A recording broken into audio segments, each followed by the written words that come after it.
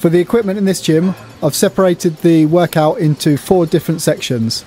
Let's begin with the first section, free weights. Using the gym's free weights is a great way to get an all-over fitness regime started.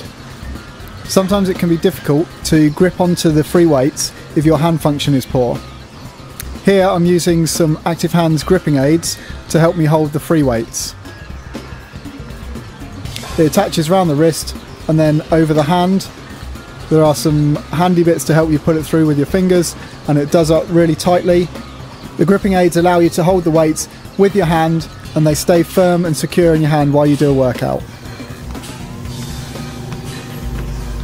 Just go through a few examples of free weight exercises that you can do.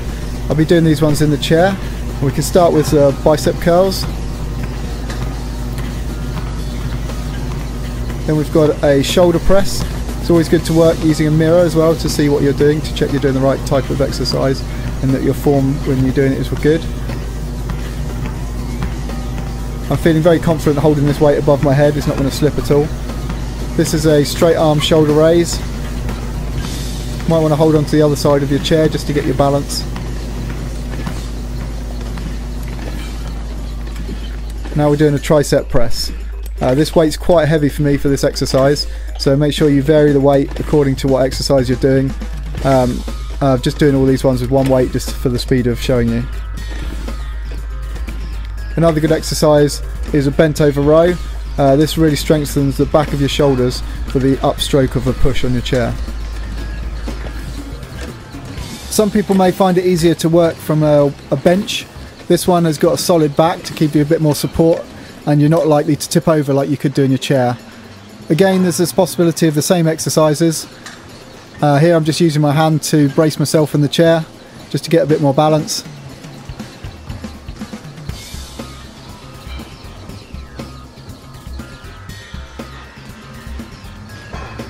Here are a few handy hints and tips.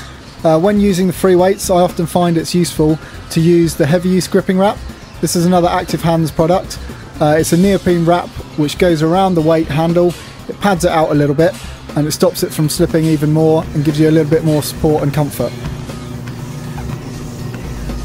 To avoid discomfort on the thumb when lifting heavy weights, try these thumb protectors. They just create a barrier between your skin and the weight itself and work really well with the other Active Hands products. Bench press is a great exercise for the shoulders and the triceps, but particularly for the pectoral muscles. I'm going to use somebody to help me spot here because without a good hand function it's very difficult to balance the weight and uh, without being able to grip it you don't want it to roll off onto you. I'm also finding it very difficult on this quite narrow bench to keep my balance when I'm trying to press. I prefer to be as independent as possible in the gym but sometimes doing the bench press using somebody to spot for you can safely help increase the weight or repetitions. For other ways to do pectoral exercises, we'll use the machines shown in the next section.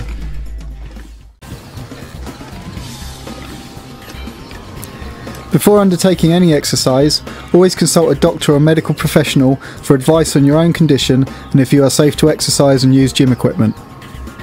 To avoid muscle strains, both before and after exercising, you should get your body ready with a series of stretches. Ask a trained physiotherapist if you need advice on the stretches that will suit your condition. These exercises are just some useful examples of what can be done in the gym. Equipment and therefore the exercises you can do will vary from gym to gym.